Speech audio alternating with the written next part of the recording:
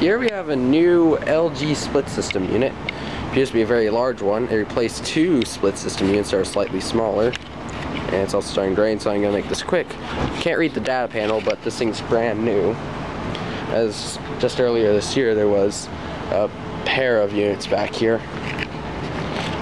So, I'm gonna say that this is a 2013 model. You can see right here is where they left the old connections for the other unit that was here, which sat right over there. This unit's where the where one of the units was. And as you can see, they didn't do the best job installing it. It's not centered on the pad. Could have done a better job. But yeah, nothing too major, just a brand new unit. And this at Grissom High School. So yeah, brand new LG split system unit at Grissom High School. Over and out.